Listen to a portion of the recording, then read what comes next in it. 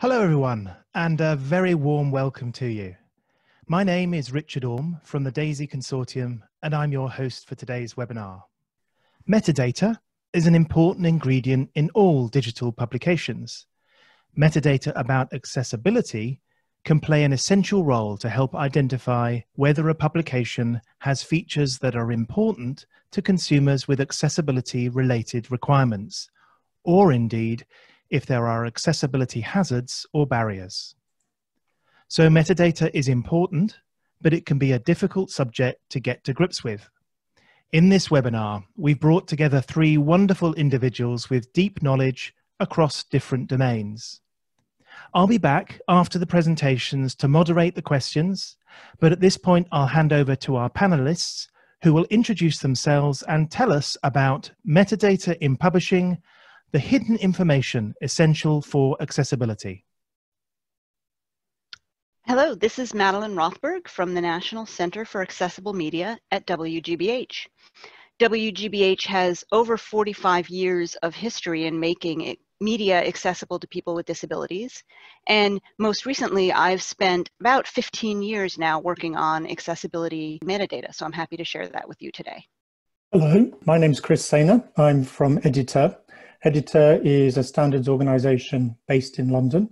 Uh, we create, um, maintain and build resources for the use of these standards and for use in the global book supply chain.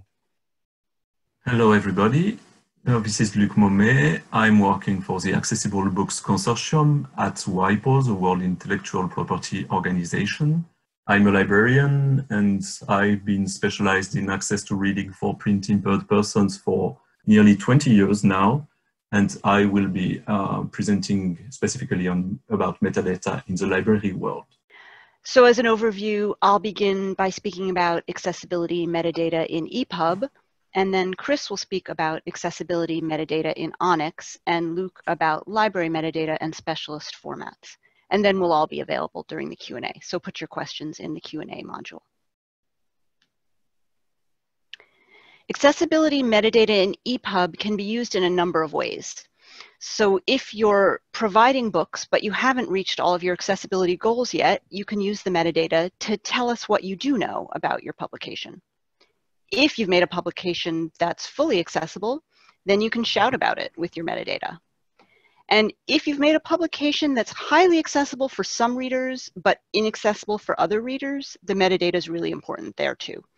So it will help readers find books that suit them and avoid books that they can't use. EPUB metadata in particular is carried inside the publication. It's sometimes called package metadata. And it's a little bit trickier to arrange, so you'll want to look at the documentation. You can also uh, provide metadata about your EPUB with linked metadata, a record outside the publication. But the way that precedence is handled between if there's metadata inside and outside is different in different versions of the EPUB standard. So do look carefully at the, at the documentation when you make those decisions. Also, um, it's important to know that using accessibility metadata is required if you're aiming to meet the EPUB Accessibility 1.0 conformance requirements. And I'm going to talk a bit about the different ways to do that. The EPUB accessibility documents lay out three kinds of EPUBs. A document might be discoverable, meaning it has metadata to help users find it, even if it doesn't meet all accessibility requirements. It might be what's termed accessible, which means it meets the it provides the discovery metadata, but also meets the Web Content Accessibility Guidelines 2.0 at any level and additional EPUB accessibility requirements. Or it might be an optimized document. And these are the ones that are for a certain audience and specialized, but might not serve all audiences. And they have their own uh, requirements in the EPUB accessibility document for metadata. So discovery metadata describes the publication's content, and this is the one that's useful no matter what kind of publications you're sharing. This metadata is written up at the schema.org uh, standard website, and there's uh, required elements, recommended, and optional. So required is that you describe the types of media that are included in your publication, and that uses a term called access mode. Visual, textual, auditory, what kinds of things are in there. Secondly, you're required to name any accessibility features you have and also any accessibility hazards. The most common hazard obviously is flashing, uh, which can cause seizures in light sensitive people with epilepsy. Um, those are not common in most booky books, but as we move into integrated multimedia kinds of books, they're a hazard. And the accessibility features describes things you might be doing to make your book or publication more accessible, like image descriptions, uh, captions on any embedded audio or video, and so on. And finally, you're required to provide a human readable summary in the accessibility summary field. And this might summarize all of the other features or it might describe some nuances that are, are tricky but that a user needs to know when they decide if they want your book. It's recommended that you use a term called access mode sufficient, which is a way to describe all the different ways a publication can be used. For example, read with the eyes, read with the ears, read with eyes and ears together, and so on. It's a little bit uh, more complicated, and that's why it's recommended but not required. And optionally, if you do have any interactive features in the publication, there are fields for describing any accessibility work that's been done on those interactive features. For conformance reporting, if you've created a fully accessible publication, you'll want to state the Web Content Accessibility Guidelines conformance level you'll met, you've met, and you'll use the Dublin Core metadata term conforms to to do that. So conforms to WCAG level A, AA, AAA. And there's a specific syntax for writing up those conformance statements that's available in the guidance documents. Additionally, um, for EPUB conformance reporting, there are some metadata terms to report about your conformance claim. And the required one is certified by. And this is where you name the organization that has certified that you meet the WCAG level you are claiming to meet.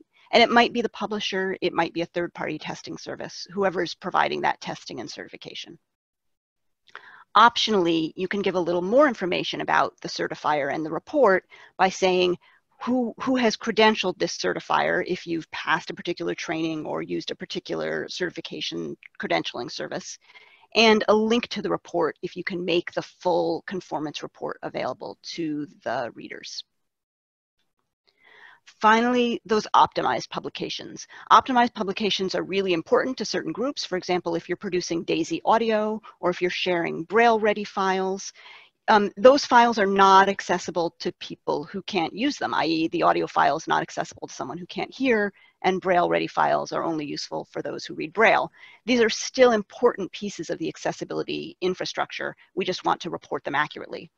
And so we use the conforms to field to report what optimization standard have you followed. We also strongly recommend that you use a human readable description with an optimized publication. And this uses the schema.org metadata for accessibility summary. It allows you to say, this is an audiobook, it offers text for navigation only, or whatever the specifics of the circumstances. Some tools that will help you create accessible EPUB First of all, the schema.org website, which has the full list of accessibility terms. And these slides and resources will all be available, as Richard mentioned, after the webinar.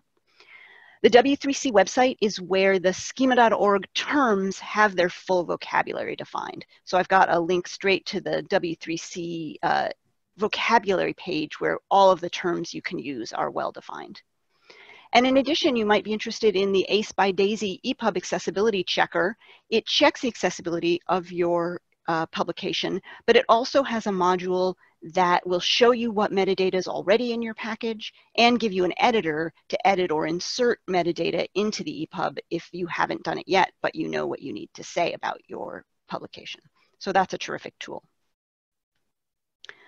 This is a brief snippet of uh, JSON LD metadata, and I don't expect everyone to learn how to create metadata looking at this slide, but I want to make sure that you know that when you visit the schema.org website, we have six fully written examples of accessibility metadata in schema, but you have to click on the JSON LD part of the page to get to them because the other options aren't written out. So uh, you can go to the schema.org website, pick any of our accessibility terms such as access mode, and go to the JSON LD examples to see fully written text examples. You can also read this in the slide once you get the slides. Finally, some resources for EPUB. Uh, I've got links to the EPUB Accessibility 1.0 document itself, which is currently a submission to the W3C to become part of the W3C's publications uh, publication group. In addition, there's an accessibility techniques document, which still lives at the IDPF website. So I've got a link for that. And that will give you really specific examples and techniques about how to use metadata in EPUB. And finally, there's a crosswalk between EPUB metadata and ONIX metadata. And Chris is going to speak next about ONIX metadata. And I, so I wanted to let you know that we've uh, collaboratively compiled a crosswalk that explains some of the commonalities and differences between the EPUB metadata and the ONIX metadata. So now I will hand it over to Chris to tell you more. Thank you. Thank you, Madeleine. Um, so Madeleine's been showing you and talking to you about the kind of metadata that should be included in the EPUB. And I'm going to be looking at the kind of metadata that should be um, accompanying that EPUB file, um, either sent with the file or sent separately in a separate metadata supply chain to the book trade. The most common um, method of supplying accessibility metadata in the book trade um, is via ONIX for Books. And for those of you who are not familiar with ONIX for Books, it's a standard uh, message that's widely used around the globe and is used for the communication of metadata about physical books, digital books, audiobooks, and related products in the global book supply chain. It's managed by EDItEUR. Um, it's been around for over 20 years there are two versions that you may be familiar with. The version 2.1, which was published originally in June 2003 and was then sunsetted in 2014, but is still used by some actors in the supply chain in the US, Canada, Germany, and United Kingdom. The, the current version of ONIX is ONIX 3. Um, this was published in April 2009 and is still the current version. The current iteration of ONIX 3 is 3.0.7, but when we talk about iterations, and that is because new elements have been added, but they're fully backward compatible. So basically ONIX 3 has been stable and usable for over 10 years. So ONIX is made up of um, simple XML syntax and code lists, controlled vocabularies. Now, those code lists are things that may be revised. By revision, we may be requested to update um, the words or the meanings um, to make sure that they make sense to everybody, or we may be asked to add new additions. So for example, if there's a new requirement in accessibility, um, we may get a request from uh, maybe from DAISY to add a new um, value. What we would do is we would then consult with other people who are experts in accessibility, make a proposal, and then those proposals go out to national user groups. Um, these groups are made up of different representatives um, from the book trade in their particular countries. They discuss these proposals, and then we meet um, we have an international steering committee that will meet, discuss, and validate or reject any proposed new codes. So nothing is added to the ONIX um, controlled vocabularies without full compliance. Now, ONIX 3 is the one that's mostly is best suited for digital books. That is why ONIX 3 was originally created, is to meet the needs of digital publications. Um, ONIX 3 has really good uh, quality control material. We publish an XSD and a strict um, version of that XSD that checks the quality of the metadata.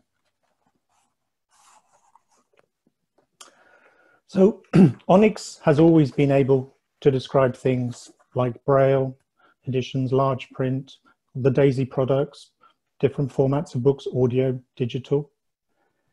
And ONIX is used to describe the, the features of a book when it comes to accessibility.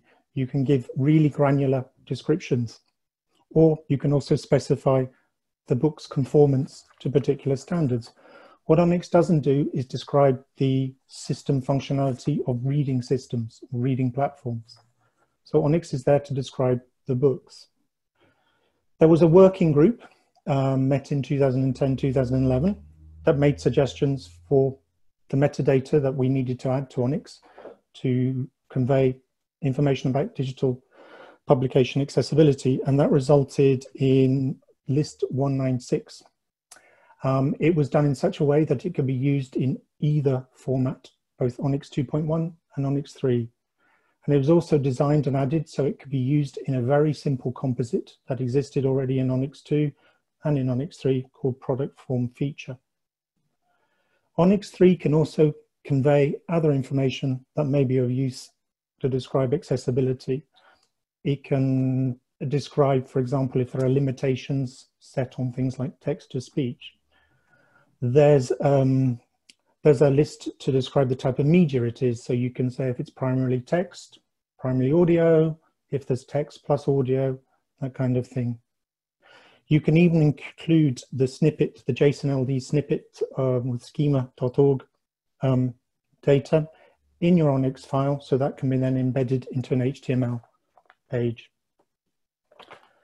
So the ONIX code list 196, this is the important list.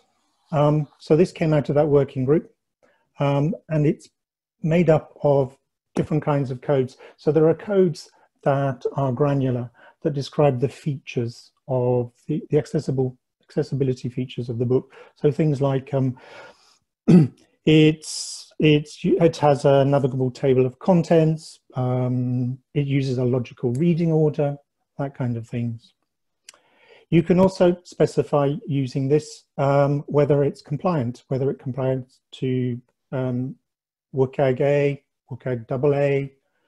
You can also send information about conformance reporting. So everything that Madeleine covered in the EPUB section, you can also convey that information in an ONIX file. You can also convey things like you can put in a contact name for accessibility information. There's a, there's a value to say nothing has been disabled, so no reading system accessibility option has been disabled. And an important code, which is this title is inaccessible because we have Relic um, digital books that were made a long time ago that publishers know do not meet accessibility requirements and they want to say we know this is inaccessible. So the granularity of those code values allow a reader to pick out their requirements for a, a book. They allow the publishers and retailers to characterize the features of that product and hopefully we can match those two pro profiles together before the person buys the book.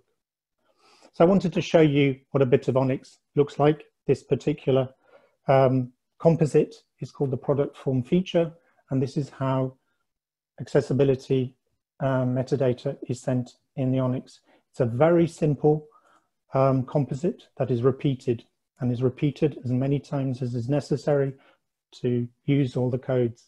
If you look as a product form feature type 09, this just indicates to the people who receive the data, I'm giving you some information about accessibility, and then the feature value will give you the particular feature. And that just repeats with all the information. It's really important. This was used in ONIX 2, 2.1 and ONIX 3. Same simple structure. Anybody who's producing ONIX or anybody who's receiving ONIX should have no issues dealing with this. It was done in the, in the most straightforward and simplest um, uh, format possible. So why add accessibility metadata to an ONIX when it's also is putting similar information into the EPUB itself? Well, as with the choice of any book, you do need to know things in advance. So a print impaired purchaser needs to know information about the title prior to purchase and maybe even prior to publication. They need to know if that book meets their needs. If the data is distributed in the ONIX standard, then data aggregators, libraries, retailers can be made aware of the level of accessibility of a title before the, the title itself is available and can present this information to potential purchasers and readers within their catalogue and allows them to build up search criteria. It's really important that we let prospective readers know how accessible a publication is via the metadata inside the EPUB and outside the EPUB. And not only should publishers make their products as accessible as reasonably possible, and as Madeleine said, they should shout about that by making that information available in their metadata. But data aggregators and retailers should make use of that metadata, presenting the accessibility information to potential buyers and readers, as well as ensuring their online presence or storefronts are accessible as well. And just some basic uh, resources that are available. So these will be made available, as Richard said, after the presentation. There's a link directly to the famous code list 196. We've done a short paper on giving advice on using accessibility metadata in ONIX, and the link to that paper is there. And then there's the general link to more information about ONIX 3. And now I'm going to pass it on to Luc, who will be talking about library metadata.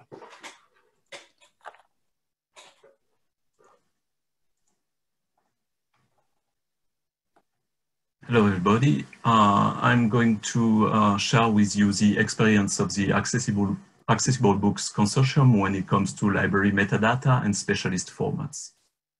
So first of all, the, the Accessible Books Consortium is a public-private partnership, partnership led by the World Intellectual Property Organization, WIPO. And among other services, we have set up an online platform, which name is the ABC Global Book Service. This platforms platform allows participating libraries for the blind or libraries specialized in services to other categories of print impaired persons to easily exchange the accessible content they need.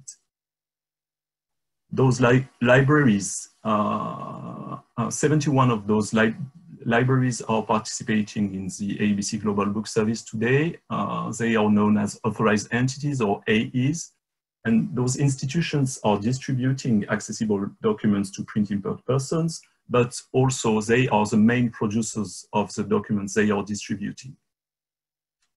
The exchanging, uh, the exchanges of accessible titles via the ABC Global Book Service are done within the framework of the Marrakesh Treaty, so we rely on exceptions to copyright.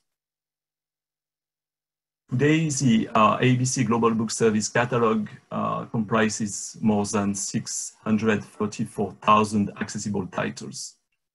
And uh, we have uh, documents in several accessible formats. The main one are DAISY, BRF, uh, Chris already uh, talked about this format, Braille-ready format, MP3, EPUB, of course, and many others. We have 17 different formats in the ABC Global Book Service today. The metadata used to build this centralized catalog is provided by the participating AEs, the participating uh, authorized entities. We are working with uh, a metadata format very well known uh, in the uh, library world, MARC 21. It's a metadata, metadata standard widely used, and MARC 21 has the ability to describe accessibility features. In MARC 21, uh, two fields are used for uh, to describe uh, accessibility feature, features. Field 341 uh, named accessibility contents and field 532 accessibility note. It should be noted that the, the introduction of these fields in the standard uh, is pretty recent. It dates back 2018. So we rely on the metadata shared with us by participating libraries to build a centralized catalog. And we have to face uh, some important limitations. Uh, first of all, uh, the accessibility metadata is applied differently from AE to AE. And uh, we see that MARC 21 is not used by the participating AEs, the libraries, in a standardized way to describe accessibility features. So uh, we see differences from metadata feed for, to metadata feed. And we also, uh, it's also very common that accessibility information is implicit. uh, I'll take an example to explain why, what I, I'm, i want to say here. Uh, for many li libraries, uh, they have been distributing accessible documents to uh, their, uh, a, a, limited audience, their end users. And for many years, there was no need to uh, include in their metadata feed information which were obvious for the end users such as, for instance, for a library producing only audiobooks in DAISY 202 format with human narration, it was a well-known information for the end users accessing to the documents of this library that the format was uh, the format I just described. Now, of course, in the context of global cooperation, the fact that the information is not expressed specifically, it's a limitation.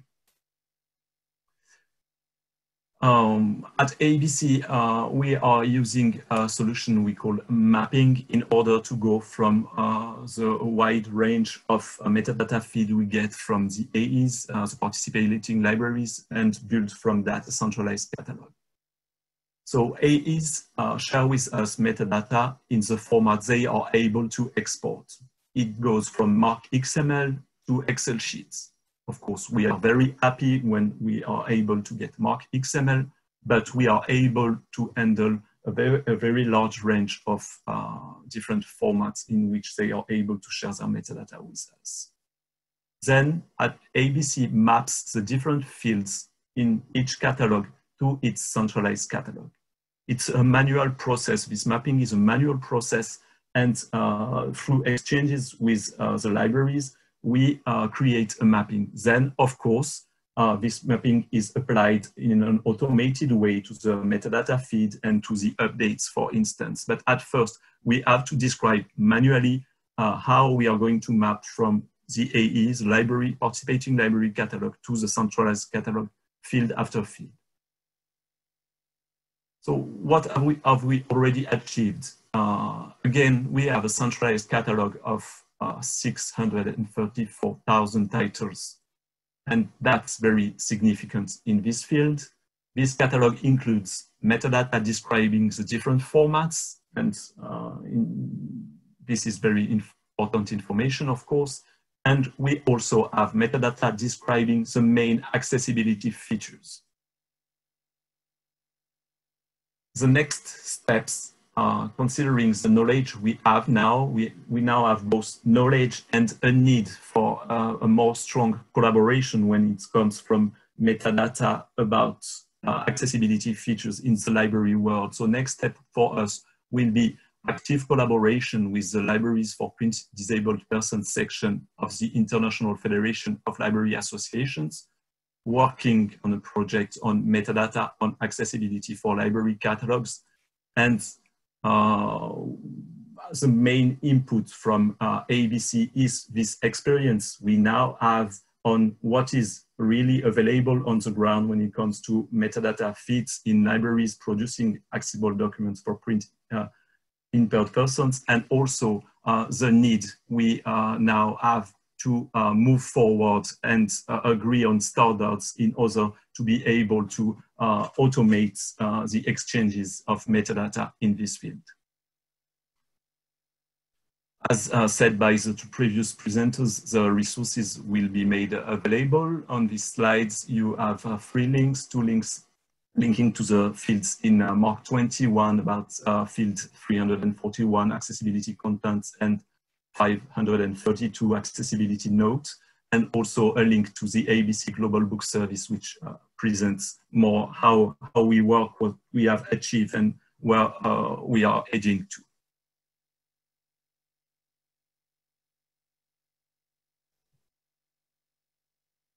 Thank you so much, Madeleine, Chris, and Luc, for those wonderful presentations.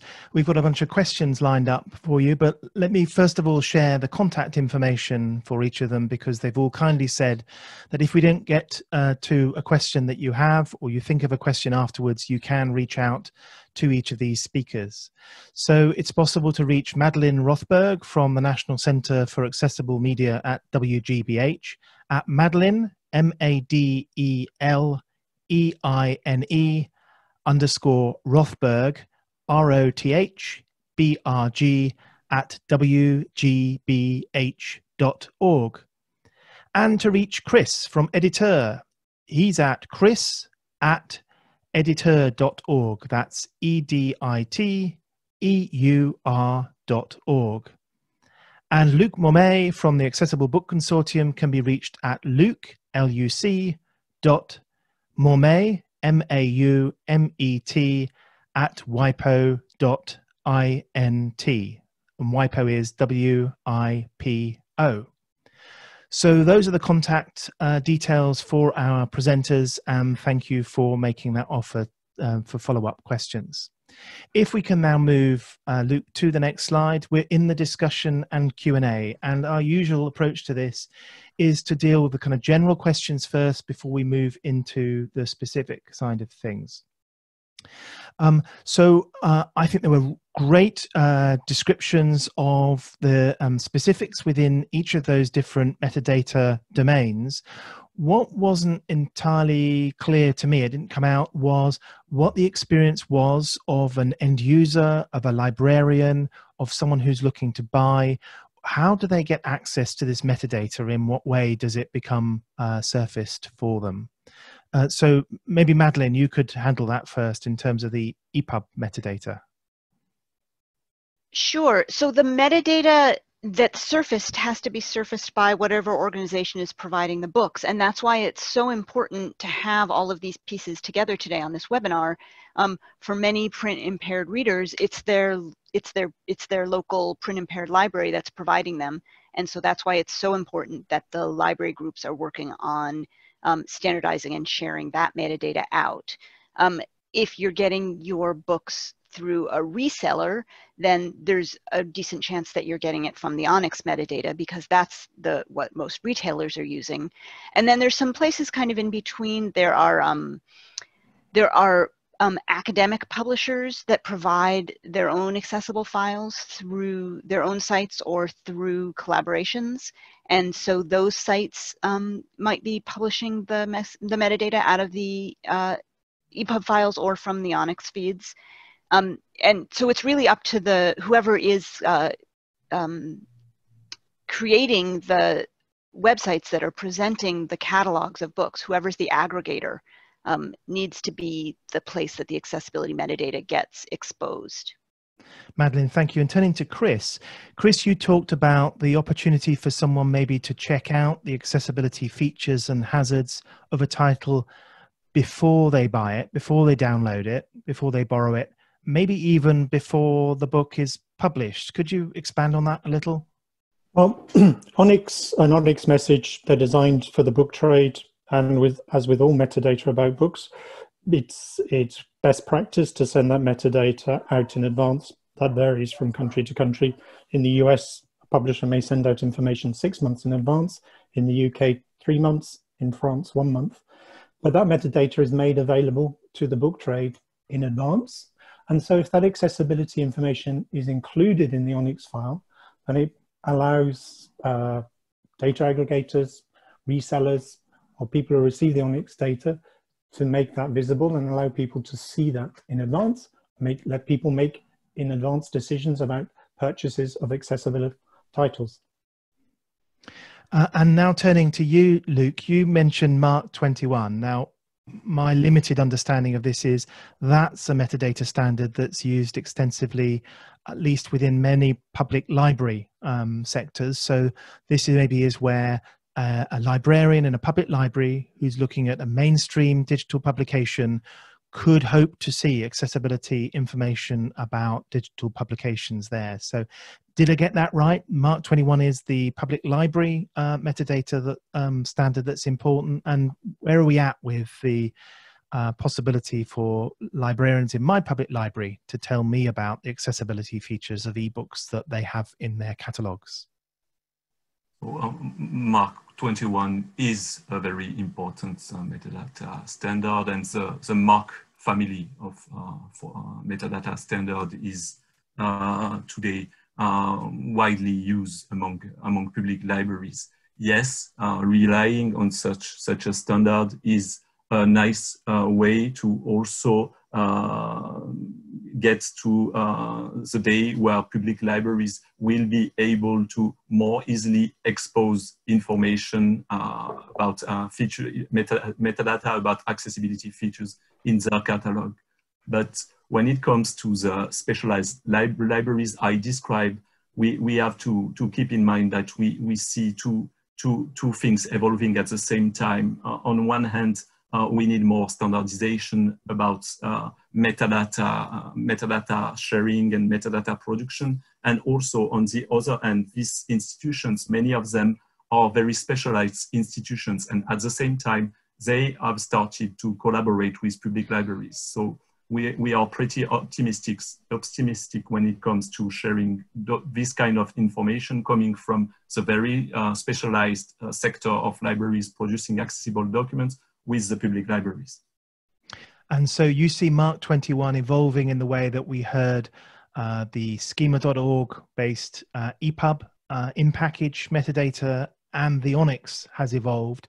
You see MARC 21 evolving in the same way to take account of new um, accessibility properties and maybe crosswalks between these different standards. I that, see. right? I see libraries metadata standard evolving uh, in a way that uh, will allow them to express all the accessibility features. And I, at the same time, I uh, see uh, the very specialized libraries working in this field embracing these standards. We need, we need the two things.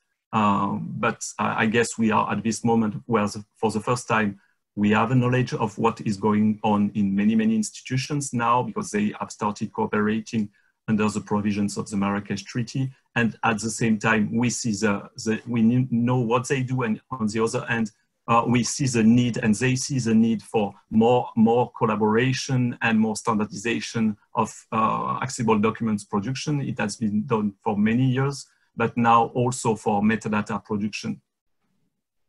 Thank you. And I see one question here from Amy, which I think Luc is uh, more for you, and then I'll turn to some other questions for other panelists.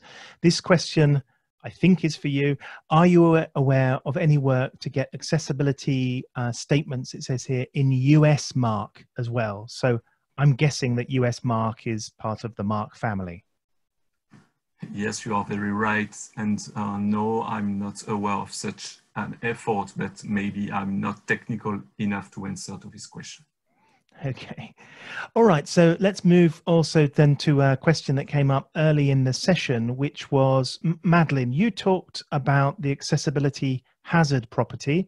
And I guess there's a, um, a linked or related uh, uh, field for uh, ONIX. Um, you gave the example of flashing. Are there other examples of hazards that publishers uh, should be aware of uh, in order to make sure that they're representing that in their titles? Or is flashing really the one that people are coming across right now?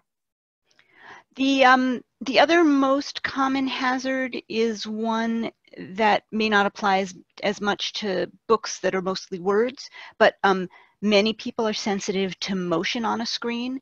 And so we have a motion hazard. If you've got a simulation of a roller coaster, for example, embedded in a physics textbook, there are users for whom watching that roller coaster simulation might uh, cause physical harm or illness. Um, so that's, I think, probably the second most common one. Um, there's some research on hazards from certain kinds of audio, that certain kinds of auditory signals can uh, trigger seizures in some um, people, but it's not as well defined, so we don't see a lot of uptake on that yet. Thank you. And another one for you, Madeleine, I think, uh, and this is, I think, a chance to explain something again, because I'm not, well, the question for, is from Juliet. It's for EPUB, is it preferable to use JSON or ONIX? And if both are used, does one override the other? So I guess I'll give a little bit of a combo answer here and Chris may jump in. Um, currently you for, for an EPUB itself, if you want to put the metadata inside the EPUB package, then you'll need to do that using the EPUB package metadata. Um, and that may be JSON or it may be something else. Um, whereas if you want to distribute the metadata outside of it, then you're going to use a link record like an ONIX. Um, whether one overrides the other depends on which version of EPUB you're using. So that's why I cautioned you to check the documentation because the rules for whether the linked record would um, override or be uh, discarded were changed between versions. And the reason that this is tricky is you have to think hard about which one is more likely to be accurate. So when the book was made, was all the right metadata put in it? Or later were new accessibility features somehow added but the metadata inside the document wasn't updated? Those are the those are the tricky questions. And so i think the most important thing there is to speak to the people in your uh, in your supply chain whether that's retail or through the libraries and to figure out which records they'll be using and what, how often those get updated so that you know that people are always going to use the most up-to-date version of your metadata so that you can correct any errors and know that the corrections will be propagated. So I don't um, think that's something that we can kind of answer as a one size fits all, one is better than the other. But Chris, please give me your perspective.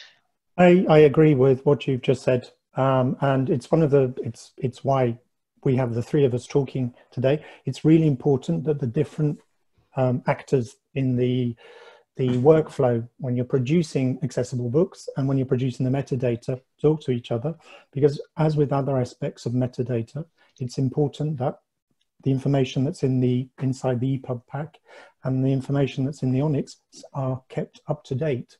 Um, and for example, you don't assume that once the ONIX has been done, you can just leave it. So it's important that systems update each other because as soon as there's a clash in different information. So if the information in JSON, the information in ONIX and the information in MARC are different, that causes issues in the supply chain and gives out misleading information to the end user. And Chris, I think we have another question for you from Robbie. And this question is, where would one put the JSON LD out of the EPUB in ONIX 3? Which block? It goes in block two, collateral detail um, text content, and it's a text type 24. And Madeleine, to you, I think. So you talked about the certified by um, uh, field, and this was in your required list, if I remember that correctly. No, certified, yes, certified by is who is certifying that this document is accessible. Um, so that's required because if you're going to claim that something is meeting the web content accessibility guidelines, you, you need to stand behind that. So in some cases, that might be the publisher themselves if they're doing internal testing or the library themselves that's producing sure. the book. Um, yeah. They can go ahead and put their own name in certified by, and that just informs the reader that this library has done that testing themselves or this retailer. Sure. So if publisher. a publisher has done their own internal testing, or maybe they've uh, they have some mechanism set up for that. They're confident that their meets, uh, um, say, WCAG AA. They then need to put their own publisher details in the certified by um, field. That would be the correct way to handle that. That's right. And if they have, um, if they're following a specific guidance on how to do certification, or if they've been trained or, or credentialed, then they might want to wish that use the certifier credential field to say, no, really, just because I'm the publisher, you, you can trust me. I, you know, I'm following this outside group's certification standard, or I've been trained by this group, and so on. For an EPUB, do we have to put the accessibility metadata in the file, or is it sufficient to put it in, say, just the ONIX feed? Well, the accessibility metadata in the ONIX feed is really useful in some circumstances, as we've been talking about. But if your goal is to meet the EPUB Accessibility 1.0 conformance requirements, you will need to put the accessibility metadata inside the EPUB using the schema.org and other accessibility metadata specifications I described, because that is a requirement of the EPUB conformance statement. Now we have a question here from Kirsten, uh, who is saying, "Do you know if mainstream retailers like Amazon or Google are using the accessibility metadata and accepting accessible EPUB files?" I do know that, for example, Rakuten Kobo are very interested in accessibility metadata in an ONIX file. Um, their biggest issue is persuading publishers to put it in the ONIX file. Um, Amazon, as some of you may know, is having a major push to get people who send them ONIX to stop using 2.1, start using ONIX 3. They've done the physical books. They're moving to the digital um, next year. What they, companies like them are doing are trying to um, impose best practices on good quality metadata, and then they can start asking for metadata um, about accessibility. Um, Google, I do not know about. There is there is a desire to see accessibility metadata in the trade, um, but this is the vicious catch twenty two. I'm not adding it because nobody wants it. We're not using it because nobody is sending it. Um, so even to from going to Luc's point about MARC 21, MARC um, metadata is incredibly important, and there are specialists who will take ONIX feeds from publishers and convert those to MARC records. So, of course, they can also add in the accessibility information if that's available in the ONIX feeds. So, I'd say to any publisher, it's important to start adding that metadata to your ONIX feeds. So then um, big uh, retailers will see that that data is there. Thank you. And part of that question was whether Amazon or Google are accepting accessible EPUB files. Well, thank you for addressing the question about accessibility metadata. I always hesitate to kind of half answer a question as the host, but absolutely they're accepting accessible EPUB files. They love those. Uh, um, this this um, answer was kind of framed around what are they doing with the accessibility metadata when it comes um, to them, and it seems to me that the accessibility summary would be particularly helpful for many people, uh, particularly to end users and the um, uh, and the librarians and folks supporting them. Um, what kind of guidance is there for people to complete the accessibility metadata uh, in terms of the summary so folk don't have to get into the details of all these fields and they get a sense of what uh, is available to them in a publication through the summary um, this is madeleine and i would say the accessibility summary is a very important piece because um, we are we are working um, on a document to help explain accessibility metadata for aggregators and how they can present it on their websites to be as user-friendly for users as possible. But certainly the intricacies of the metadata can be a little complicated and some cases are more complicated than others. For example, we've tried to work through writing the right metadata for a use case like a dictionary that has audio to pronounce each word, but it's not an audio book. Most of what you need from that book you have to be able to use the textual content for and the audio only provides a supplement in the pronunciations. So that's the kind of thing where um, while we can make the metadata as precise as we like a human readable summary that just explains that this is a dictionary it's mostly text and has uh, pronunciations would be the best way to make sure that everyone understands the the human implications of the metadata um, so now we have a question from Teresa, and Teresa, it seems to me, is working in a library supporting uh, readers, including those with print disabilities.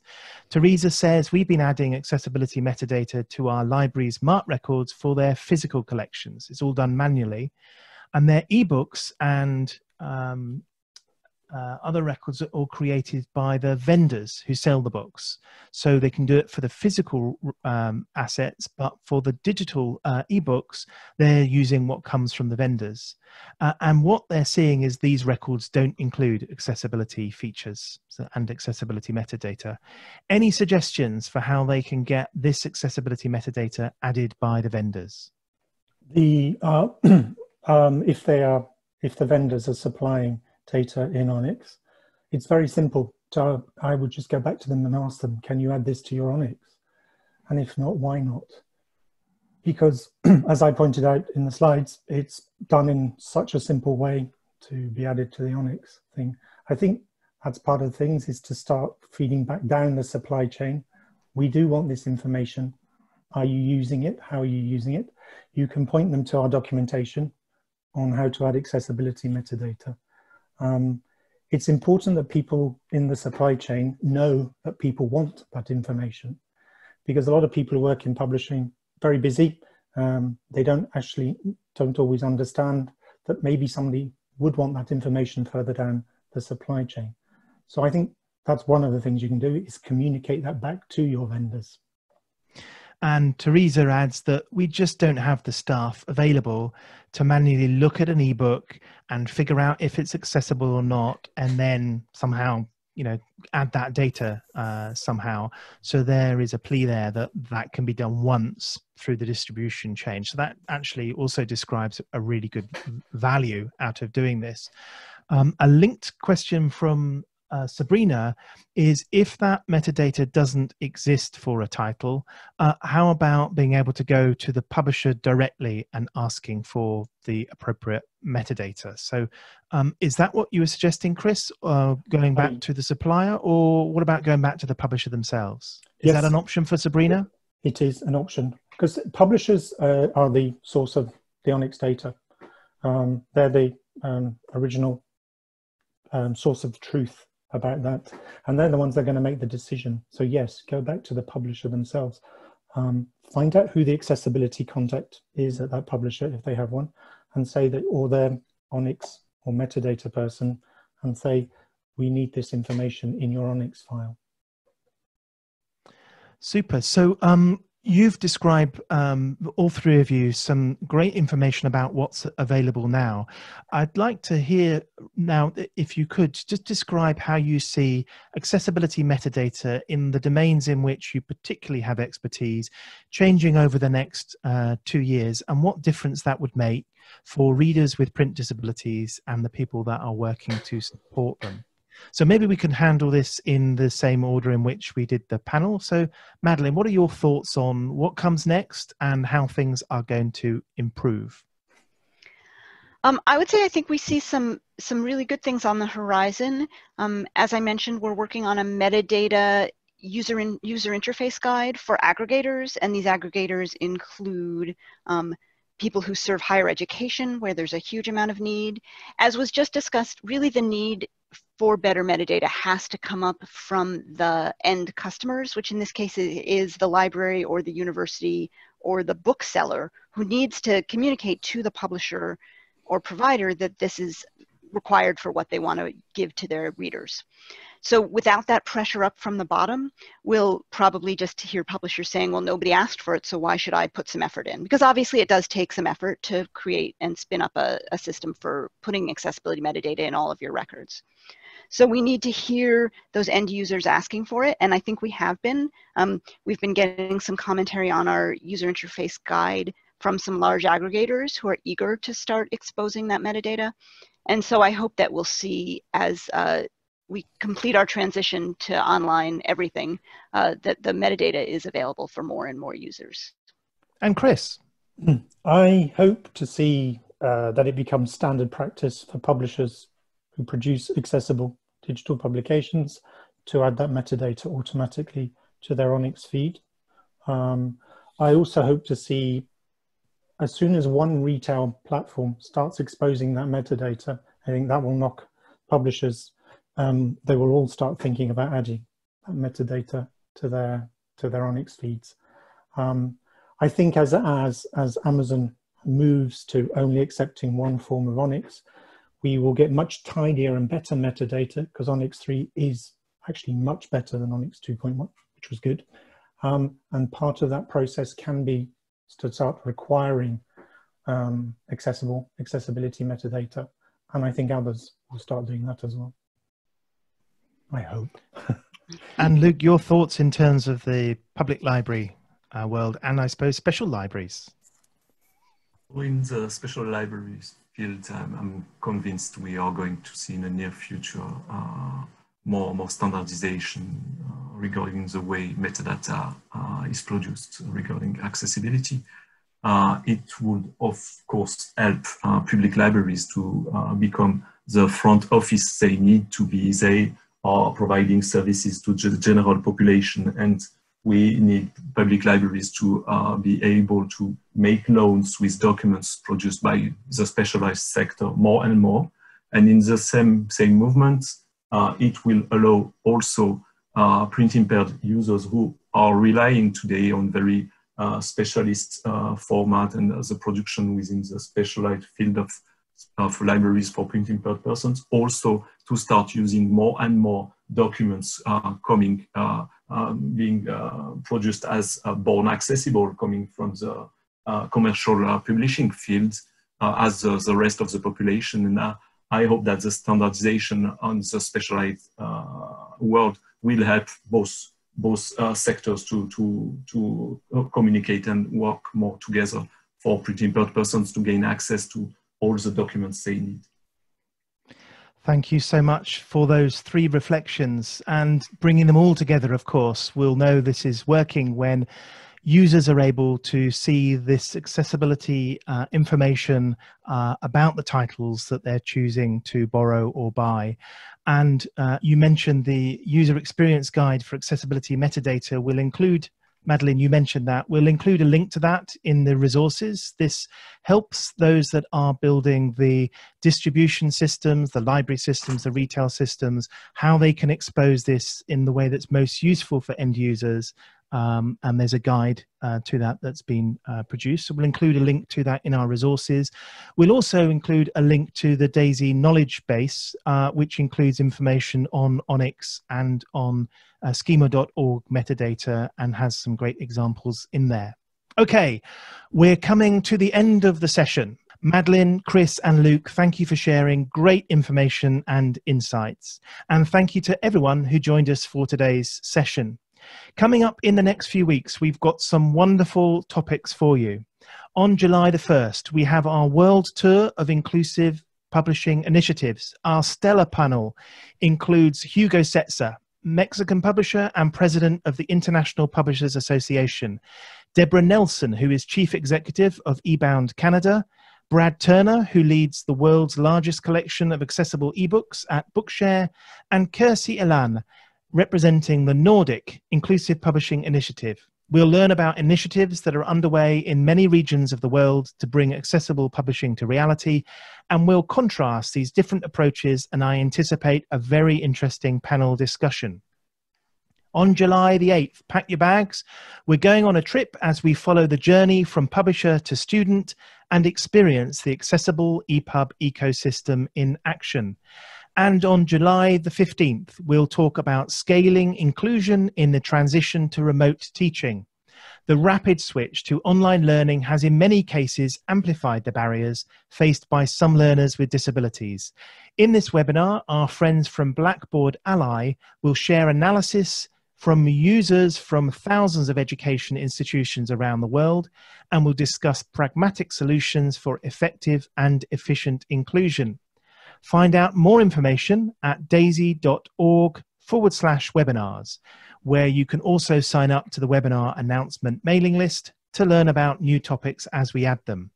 And if you would like to suggest a subject, or if you're considering presenting a webinar, then please email us at webinars at daisy.org. I hope you'll join us again next week.